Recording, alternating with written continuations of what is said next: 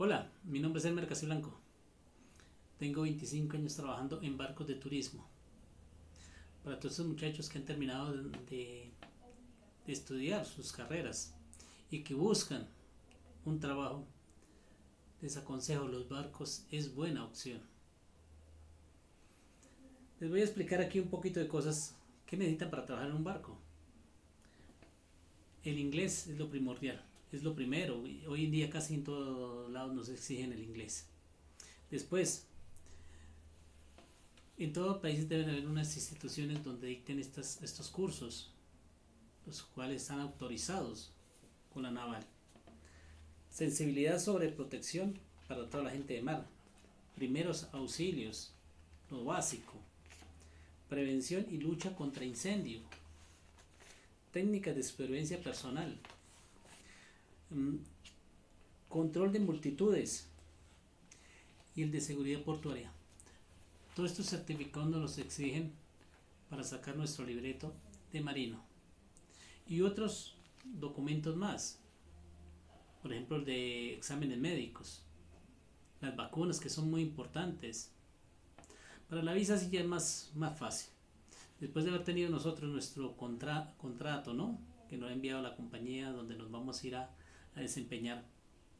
Con ese contrato vamos a la embajada de aquel país donde nos vamos a ir a, presentar y nos van a dar la, la, visa de marino.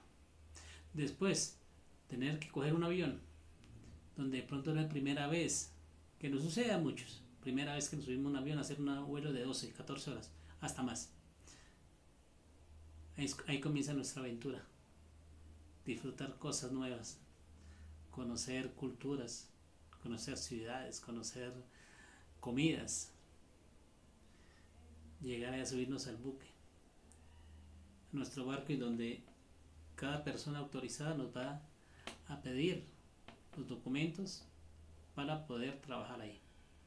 El oficial nos va a llegar a pedir nuestros certificados.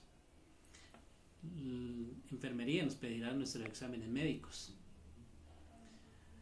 Después nos dará nuestra cabina, el cual va a ser nuestra casa durante 8, dependiendo del contrato que tengamos, ¿no?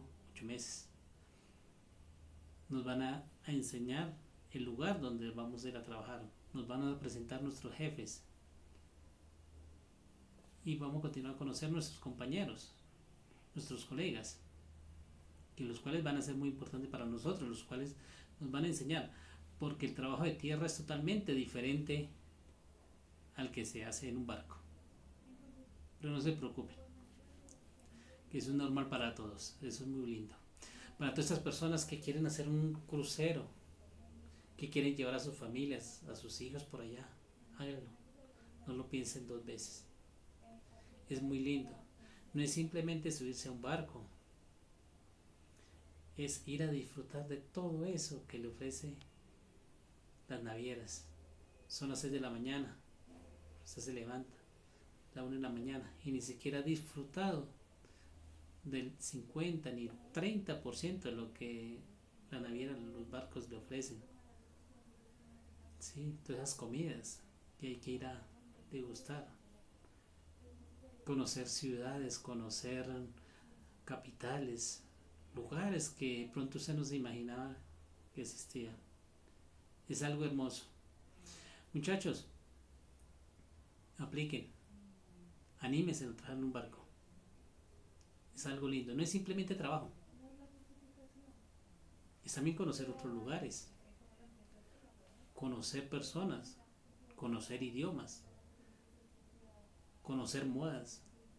O sea, son muchas cosas que usted cuando regrese a su casa se va a encontrar con sus amigos de infancia de colegio, universidad, y usted les va a comentar todo eso que ha vivido. Ahí es cuando usted se siente orgulloso de lo que ha hecho. Donde se van a tomar una cervecita, un café. Y van a estar pendientes de todo lo que usted les está contando. Así que amigos, anímense. Ah, y acuérdense en algo, ¿no?